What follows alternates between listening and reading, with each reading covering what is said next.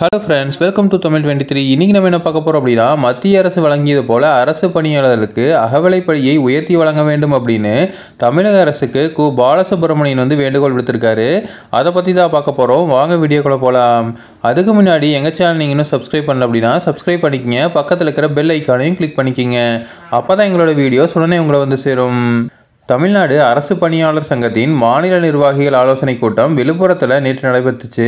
கள்ளக்குறிச்சி உள்ளிட்ட இருபது மாவட்டங்களை சேர்ந்தவர்கள் வந்து இதில் கலந்துக்கிட்டாங்க மாநில தலைவர் சிவக்குமார் தலைமை தாங்கினார். பொதுச் செயலாளர் கோபிநாதன் அமைப்பு செயலாளர் சிவக்குமார் மாவட்ட தலைவர் ஜெய்கணேஷ் உள்ளிட்டோர் இதில் கலந்துக்கிட்டாங்க இதில் கலந்து கொண்ட சங்கத்தின் சிறப்பு தலைவர் கு. பாலசுப்ரமணியம் என்று செய்தியாளர் என்ன சொன்னார் அப்படின்னா மத்திய அரசு வழங்கியது போல பதினோரு சதவீதம் அகவலைப்படி உயர்வை பொருளாதார சமூக காரணங்களை காட்டாமல் கடந்த ஜூலை மாதம் முதல் கணக்கிட்டு உயர்த்தி வழங்க வேண்டும் அப்படின்னு சொல்லியிருக்காரு. அது மட்டும் இல்லாமல் பழைய ஓய்வூதியத்தை மீண்டும் வழங்க வேண்டும். ஓய்வூதியம் இல்லாத அரசு மற்றும் உள்ளாட்சி பணியாளர்களுக்கும் ஓய்வூதியம் வழங்கிட வேண்டும் அப்படின்னு சொல்லியிருக்காங்க.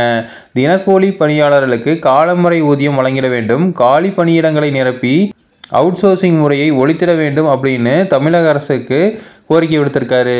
அதுக்கப்புறம் அரசு துறையில் பணியாற்றி வருவர்களுக்கு குறைந்தபட்ச ஊதியம் பதினெட்டாயிரம் ஓய்வூதியம் பத்தாயிரம் வந்து வழங்கிட வேண்டும் என்பன உள்ளிட்ட பத்து அம்ச கோரிக்கைகளை வலியுறுத்தி வரும் செப்டம்பர் எட்டாம் தேதி தமிழகம் முழுவதும் மாவட்ட ஆட்சியர் முன்பு பெருந்திரள் முறையீடு நடக்கிறது. பின்னர் ஆட்சியர் மூலம் தமிழக முதல்வருக்கு கோரிக்கை மனு அளிக்கப்படும் அப்படின்னு சொல்லியிருக்காரு.